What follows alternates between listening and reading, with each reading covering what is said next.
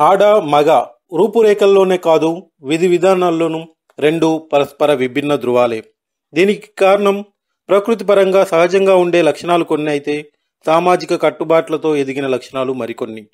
అందుకే స్వాభావికంగా ఇద్దరి మధ్య తేడా ఎప్పుడూ ఉంటూనే ఉంది. అలాంటి తేడాల్లో ముఖ్యమైన పది అంశాలను ఇప్పుడు చూద్దాం. ముందుగా చూపు. ఆడవాళ్ళు చూపర్లను ఆకట్టుకోవడంలోనే కాదు వాళ్ళ చూపులతో ఎదుటి వస్తువులను నిశితంగా పరిశీలించడంలోనూ దిట్టలే. వీరికి విజువల్ మెమరీ ఎక్కువ. రాత్రివేళ సైతం స్పష్టంగా చూడగలుగుతారు. ఇక కన్ను కొట్టడంలో మగవాళ్ళు ముందుంటే కనురెప్పలు వాల్చడంలో ఆడవాళ్ళే టాప్. మగవాళ్ళ విషయానికి వస్తే రాత్రి కన్నా పగటి వేళలో చూపు మెరుగ్గా ఉంటుంది. విజువల్ మెమరీ తక్కువ అయినా విశ్లేషణ సామర్థ్యం ఎక్కువ కాబట్టి కనిపించే వస్తువుల దూరాన్ని సరాసరి అంచనా వేయగలుగుతారు. రెండవది మాట.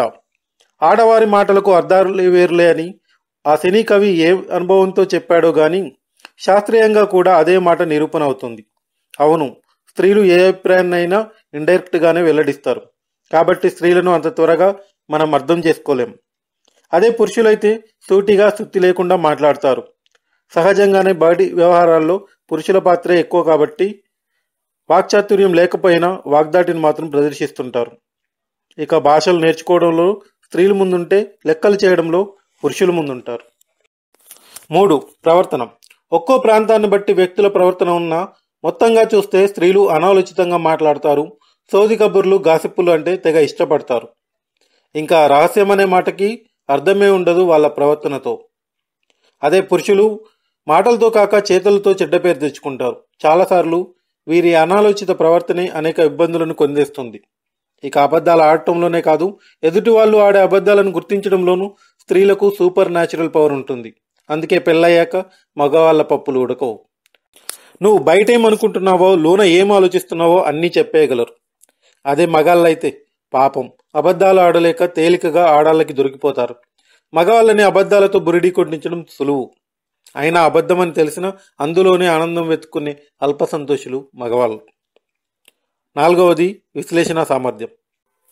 ఇంటెలిజెంట్ అనే పదంలోనే ఉంది అది జెంట్కి పేటెంట్ అని పురుషుల మెదడు చాలా షార్ప్గా ఉంటుంది. ఎంతటి క్లిష్టమైన సమస్యనైనా పరిష్కరించే సామర్థ్యం ఉంటుంది. అదే లేడీస్ మైండ్ ఎనలైజ్ చేసే బదులు ఎమోషనల్ అవుతుంటుంది. అందుకే సమస్యలు వచ్చినప్పుడు సమాధానాల కోసం కాకుండా సానుభూతి కోసం ఎదురు చూస్తుంటారు వాళ్ళు. ఐదవది మల్టీ టాస్కింగ్ అంటే ఒకేసారి ఒకటి కన్నా ఎక్కువ పనులు చేయడం. మనకందరికీ తెలిసిందే మల్టీ టాస్కింగ్కి కేర్ ఆఫ్ మహిళలే. అందుకు మన అమ్మలే ప్రత్యక్ష ఉదాహరణ. లేచిన దగ్గర నుండి పడుకునే వరకు ఏదో ఒకటి చేస్తూనే ఉంటారు. అదే పురుషులు కూడా మల్టీ టాస్కింగ్ నిపుణులైనా ఆడవాళ్ళతో పోలిస్తే తక్కువే. బద్ధకంతో బారికాయలుగా మారడంలో మగాళ్ళే కదా మరి. ముందు. ఆరవది నైపుణ్యం. ఏ విషయంలోనూ త్వరగా నిర్ణయాలు తీసుకోలేరు ఆడవాళ్ళు. అందుకే నిదానమే ప్రధానమన్న సూత్రంను బాగా వంట పట్టించుకుంటారు డ్రైవింగ్ విషయంలో దీన్ని మనం గమనించవచ్చు. త్వరగా కన్ఫ్యూజ్ అవుతారు. అయితే మనుషుల్ని గుర్తించడంలో గుర్తించుకోవడంలో వీళ్ళే టాప్. అదే పురుషులు ఆలోచనతో అయినా ఆవేశంతో అయినా త్వరగా నిర్ణయాలు తీసుకుంటారు. తమకు తెలిసినంత మేర ప్రతిదాన్ని విభిన్న కోణాల్లో విశ్లేషించి ముందుకు సాగుతారు. డ్రైవింగ్లో ఎక్కువగా రాణించేది పురుషులే అన్నది ఓపెన్ సీక్రెట్. కానీ మంది ఎక్కువైతే మజ్జిగ పలిచినట్లు ఇన్ఫర్మేషన్ ఎక్కువైతే మతిమరుపు కామనే అని నమ్ముతారు. అందుకే చాలా కాలం తర్వాత కలిసిన బంధుమిత్రులను కూడా త్వరగా గుర్తుపట్టలేరు. ఏడవది అవసరాలు కోరికలు. ఆడవాళ్ళు సంఘజీవులు ఒంటరిగా ఉండటం వాళ్ళ తరం కాదు. కుటుంబ బాంధవ్యాలకు విలువిస్తారు. చుట్టూ పది మంది ఉండాలని ఎప్పుడూ అనుకుంటారు. అయితే స్త్రీలు వాళ్ళ వ్యక్తిగత అనుబంధాలతో అసంతృప్తులుగా ఉంటే ఉద్యోగ బాధ్యతలను సక్రమంగా నిర్వహించలేరు. ఇంట్లో ఒత్తిడి ఆఫీసులో కనిపిస్తుంది. అదే జెంట్స్కి అయితే ఇది రివర్స్. ఆఫీసులో ఒత్తిడి ఇంట్లో సంతోషాన్ని దూరం చేస్తుంది వాళ్ళకి. ఎప్పుడు అధికారం హోదా పరిష్కారాలు విజయాల చుట్టే వారి ఆలోచనలు తిరుగుతుంటాయి. కుటుంబం కన్నా సంఘానికి ఎక్కువ ప్రాధాన్యతనిస్తారు మగవాళ్ళు.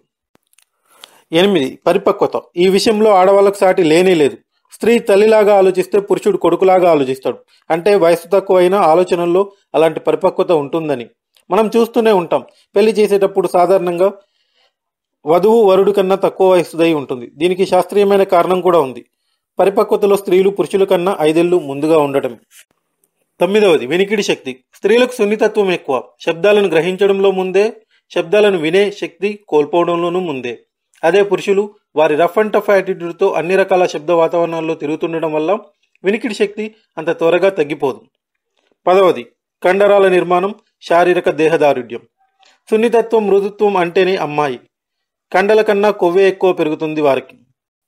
ఇది ఒక రకంగా మైనసే అయినా మరో రకంగా ప్లస్సే. ఎందుకంటే అత్యంత నీరు నేల మంచు ప్రదేశాల్లో పురుషుల కంటే స్త్రీలే ఎక్కువసేపు పనిచేయగలుగుతారు. ఇక పురుషుల గురించి చెప్పాల్సిందేం లేదు. బాడీ బిల్డర్స్ మల్ల యోధులు అంటేనే మగవాళ్ళు. కండల్ని పెంచడంలోనే కాదు కష్టపడి వాటిని కరిగించడంలోనూ మగాళ్ళే తోపులు. అందుకే శ్రామికుడు కార్మికుడు అన్న పదానికి పర్యాయ పదాలుగా మగవాళ్ళే నిలుస్తారు.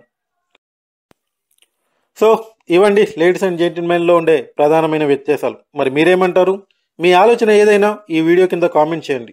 దానికి ముందు మా ఛానల్కి సబ్స్క్రైబ్ అవ్వండి. Thank you